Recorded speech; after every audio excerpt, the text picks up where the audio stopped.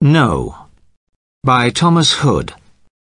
No sun, no moon. No morn, no noon. No dawn, no dusk. No proper time of day. No sky, no earthly view.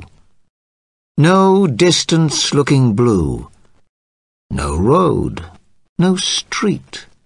No to the side the way. No end to any row.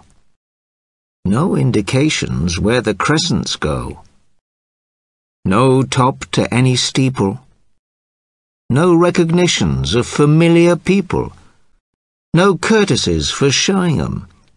No knowing 'em. No travelling at all.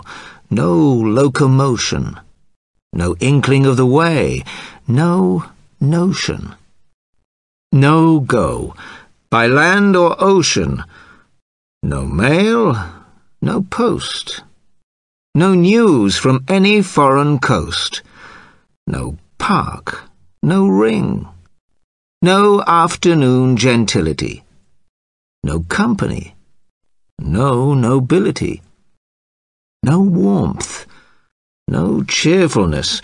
No healthful ease no comfortable feel in any member.